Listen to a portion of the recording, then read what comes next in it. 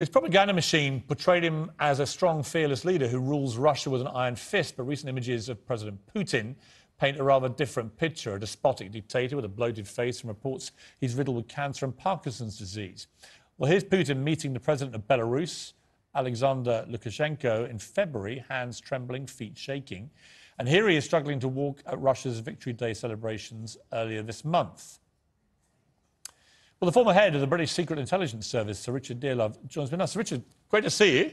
Nice you are the real life M, aren't you? Well, you I, were. I was once.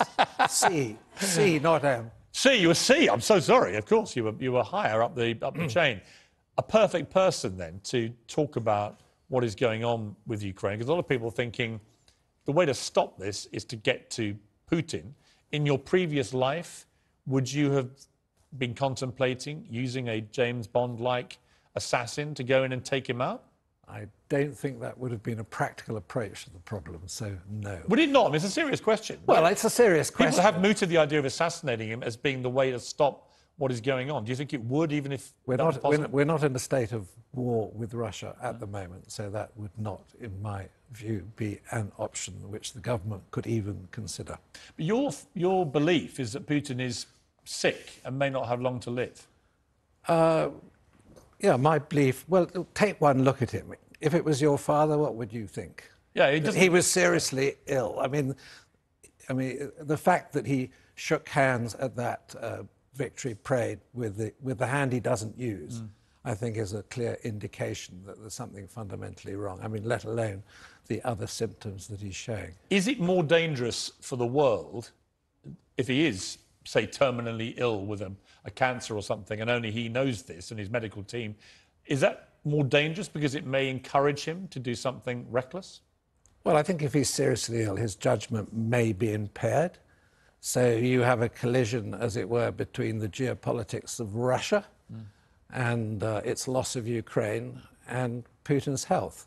I think that's a pretty uh, unsavory combination of factors. It's a very unsettling time at the moment for geopolitics. You've got President Biden being quite forceful about Taiwan and what he may do, taking the American position to a slightly stronger place than it's been before, saying he would engage militarily. We've obviously got Ukraine. You've got all the issues with wheat and other produce now, potentially causing starvation, especially in Africa, Middle East. These are worrying times, you know, massive inflation. What, what do you make of it all? You've been around the block, if you don't mind me saying, for a, a few decades. Yeah, Have you seen anything quite like this?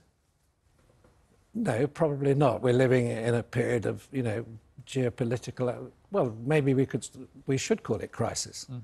Uh, the pandemic's been probably the most disruptive event socially and to an extent politically since World War II. And on top of that, now we have a major war on the European continent. So and, and, let alone the other problems with you know the price of energy, the situation with China.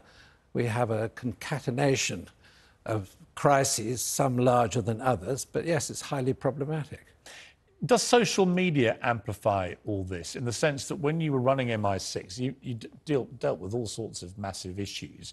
Are things actually worse now, or are they, are they just amplified by the fact we well, can see it all in real time? Well, social media definitely exaggerates and amplifies the problem, and let's say increases the level of social anxiety because the messages are broadcast so widely and to so many people. But I mean, I think the situation is genuinely worrying and difficult, and you know, we have a variety of apparently insoluble and difficult problems facing the government, facing any government, facing any nation state. What's the thing you miss, miss most about being C in MI6, running our spies? And what's the thing you, you miss least? Well, I think being in a position where you know a lot about what's going on. Uh, I, I, guess I could say I never really had a boring day at work in my life. Not many people could say that. Uh, it's a privilege to be at the centre. Yeah and to know what's going on. Also, um, slightly terrifying, though, wasn't it? I mean, well, uh, the job is not for somebody who's of a nervous disposition. No. Let's put it like that. I think you need to be relatively calm in the way that you view crises, which at any moment can sort of escalate in front of you. What, do, what am I pleased about? Well, I think in a way I'm pleased that I'm not head of the service any longer. Really? I mean, I was in it for a very long time, and uh, I think I did my bit. And served my country. Uh, I'm very proud of that. But uh, What was the moment, if I could let you relive it again, what was the single most memorable moment, for whatever reason, of your tenure? oh, I guess you, it has to be 9/11 Yeah. and the events of 9/11. And when that happened, I mean, when you're in that job, you must know this is now your world has completely changed, Yeah, as so yeah, many did. But were you able to stay calm even in a moment like that? I think so. Ask my colleagues and friends. I think I had a reputation for remaining calm. You also had a reputation for integrity.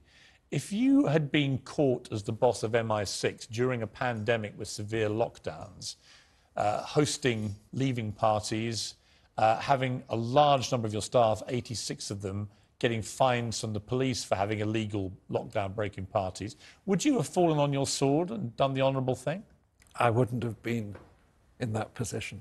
Right. So, what do you make of the fact that the Prime Minister was in that position? Uh, I think I'm going to avoid comment on the Prime Well, you Minister. don't have to sit on the fence anymore, Sir Richard. Well, I, uh, on that particular issue, I am going to sit on the fence.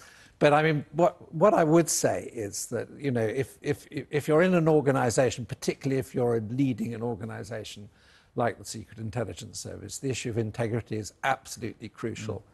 And So, you um, wouldn't have put yourself in that position. I, I mean, there's a picture coming out tonight from Pippa from the Daily Mirror, and it's a picture of what is quite clearly a lavish amount of alcohol for a party. I mean, there's just no denying it. Do you think when we get told as the public that's not a party, we're being taken for mugs, Sir Richard? all I would say is if you're a lawyer, it's quite difficult Yes, to describe what, what a party is. so I think that's, that's my reply to that difficult question. Final question for you Who should be the next James Bond after Daniel Craig? Well- and should it ever, ever be a woman?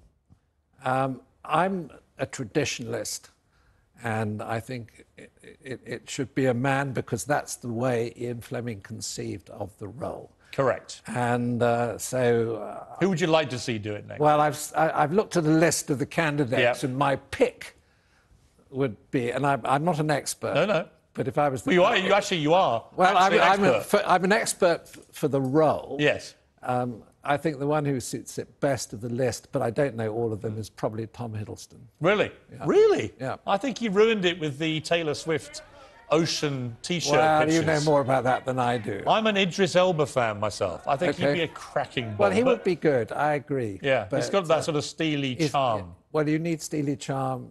I did actually pitch myself to Barbara Broccoli oh, you only three months ago. You would have been rather. Well, I don't think, it's not a big leap from Pierce Brosnan to no, Piers Morgan, is it? I mean, let's be honest, right? Well, maybe they should have the, a real C as M. yes! Why not? A great idea, Sir Richard. So why don't you suggest it? Casting director. Sir Richard Dearlove, what a pleasure. Nice to meet you. Very nice. Thank you very much for joining me. Yeah.